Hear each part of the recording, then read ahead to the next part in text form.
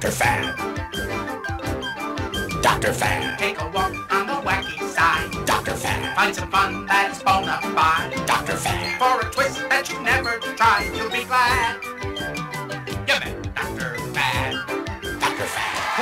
silly putty and silly string, check your mood ring, and feed your pet rock because it's time for the Dr. Fad Show. The game show that gives you a sneak peek at the gizmos that just might ne- be the next frisbee or hula hoop. See tomorrow's fads today on the Dr. Fad Show. We're going to start with Michael, and you you call this the AMD. What is that? That's for automatic mail deliverer. And see, what happens is the mailman would walk down the driveway, and it would mail and deliver the mail, and then in there.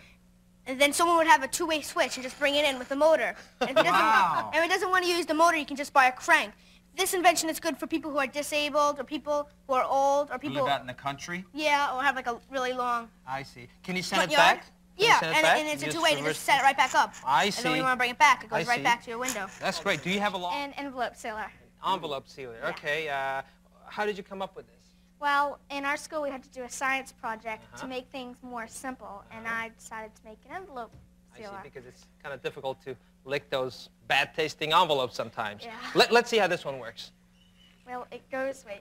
Okay. Okay. Goes under. Sponge Wet. Get the sponge, wets it, over. Folds it. folds over, and Seal. One sealed envelope. sealed envelope, ready for mailing. Next we Richard. have Aaron, and uh, is this a stethoscope or what is your invention here? Double blower upper. The double blow upper. Uh, how does this work? Two people could like, they can get, they get a tube, and then they blow up a raft or an inner tube at the same time. so this time. is connected to your rubber beach ball, the vinyl beach ball, and it just makes it easier to blow up, huh? Um, I have fish, a lot of them, and I don't like feeding them at night. So Uh-huh. if I if I had this, I wouldn't have to feed them on vacation, or I wouldn't have to feed them at night. I see, and uh, in, in case you forget, they're not going to starve. Yeah. And you could set the timer, and fish only need a little food anyway. so- Yeah. That's right. Okay. Let's hear it for Kenneth and his automatic. Good work, fish Kenneth. Um, what the use is because when people don't want to do their laundry and they want to go outside and have fun and do whatever Instead they of like doing to your do laundry, which is no all fun. day, right?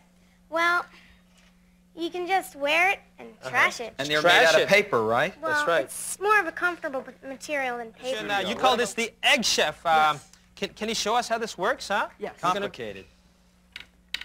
Okay. Some marbles being loaded up here for Phil's automatic egg chef. Oh, going down. Whoa! And it hits okay. the mousetrap, and the candle goes. Whoa! Oh! Oh, wow. And it cracks Look the at egg. that! Right. And uh,